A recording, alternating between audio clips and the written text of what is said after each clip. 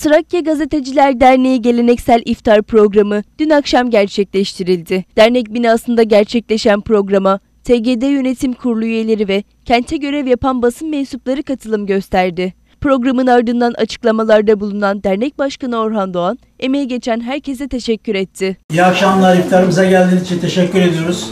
Arkadaşlar biliyorsunuz e, Trakya Gazeteciler Derneği'nin e, iftarları geleneksel hale geldi. O da işte bildiğiniz gibi pideli iftar yaptığımız için bunu böyle inşallah bir dahaki sefere ve bir daha gelecek arkadaşlar da devam ettirir. Geldiğiniz için tekrar teşekkür ediyorum. Afiyet olsun.